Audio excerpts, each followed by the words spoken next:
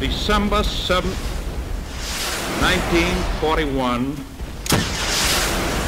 a date which will live in infamy. The United States of America was suddenly and deliberately attacked by naval and air forces of the Empire of Japan.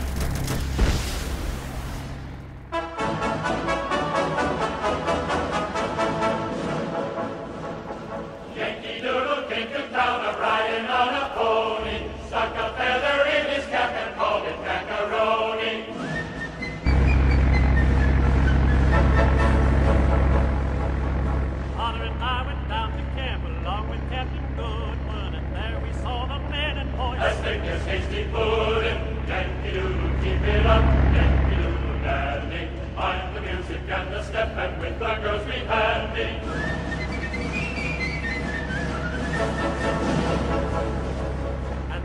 pipe away like fun and on cornstalk and some ribbons red as blood all bound around their